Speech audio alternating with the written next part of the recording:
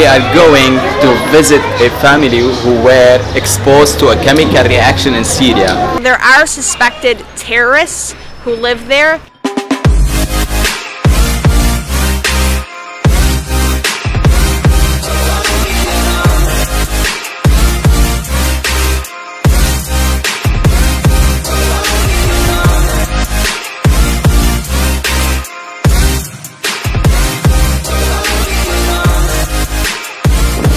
And welcome to Tripoli, Lebanon. I am in sort of a sketchy area of Tripoli. Uh, that's because I am meeting up with a group of volunteers today from ANERA.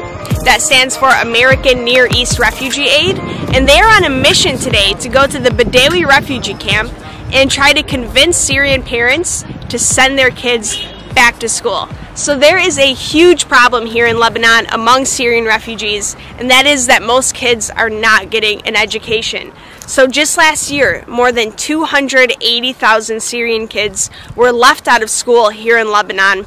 And that's for a variety of reasons. Uh, number one, there's language barriers. So schools in Syria are taught in Arabic, while schools here in Lebanon are mostly taught in French or English.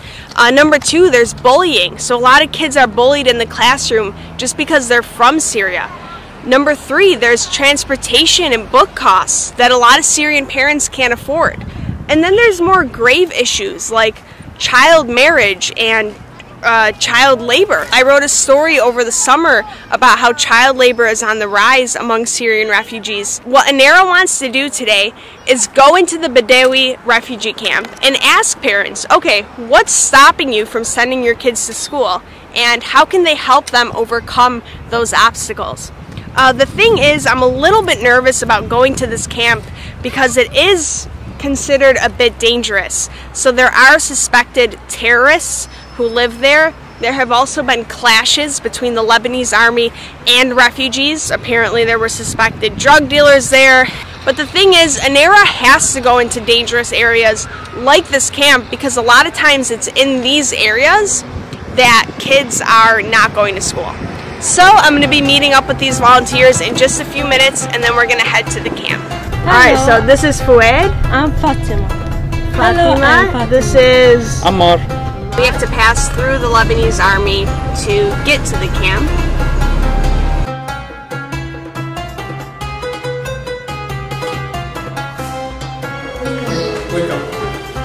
Thank you. Hi, Was the girl who got kidnapped Syrian? Yeah. So he's afraid that because they're Syrian, it would happen to them. Exactly. So he is afraid maybe this happened to his uh, daughters. لما كنا بسوريا كانوا من الاوائل على مستوى المحافظه من الاوائل على مستوى المحافظه مش على مستوى المنطقة يعني آه، صار هالظرف اجينا لهون هيدي بنتي على أساس بدي ياخذوها على مستوى القطر والرواد على مستوى سوريا كمان اجينا لهون محروق قلبها هلا طالعه بتقعد هون تبكي يعني هلا يمكن تحكي معهم حتى بتحكي معهم اجوا اذا جبنا لهون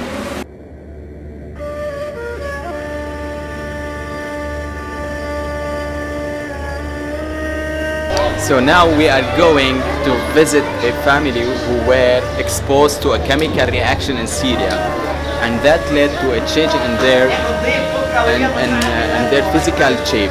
Uh, the students were being sarcastic of them, okay, because they lost their hair, because they look like boys. The kids felt uh, discriminated, so they decided to be out of school. بنتي بالمدرسة كانت دائما دائما يعني الأولاد يضربوها وتصير تخاف وتهرب من المدرسة. وهي وقعت وما حدا راح يسعفها هون. وقعت وضلت تنزف خمس ساعات وما حدا سعفها ما في سيارة. بنتي هي هون وقعت على راسها وما حدا سعفها As she's saying, like what they faced, okay, in Lebanon is harder and much more than they face in Syria. ما بدك ترجع على المدرسة؟ هي كثير شطورة بتحب ترجع على المدرسة أو لا؟ أه؟ احكي له طيب على؟ الأنسة شلون بتعاملك احكي له على الأنسة العامة مدام بس إذا في ولد قام بضربني قام بعدين قلت لها المدام قام طلعت لبرا What are you gonna try to do to help? Actually, we gonna like we have to to, to, to talk to the teachers, okay? Or we refer them to another school.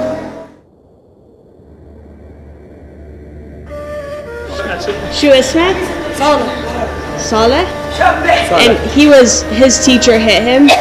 And his teacher hit them on the head, okay, like several times, and and the wall. عزلو خبش انك ما عم تنزل نايم ولا انت وعدنا Shit!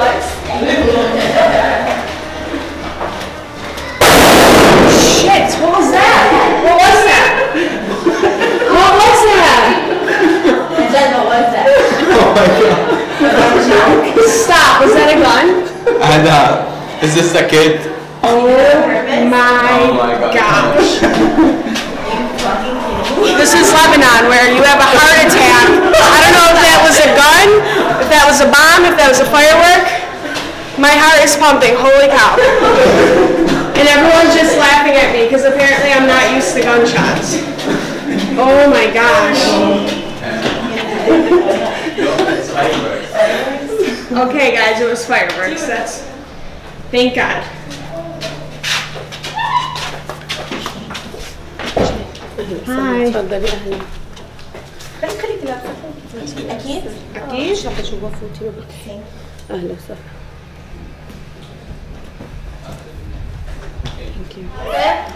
عم بيستعر من رفيقه قلم ما لقى شنطته قلم وبقول له لرفيقه بدي قلم عم المدير الأستاذ طلعوه بلش يخط بكوس على صدره.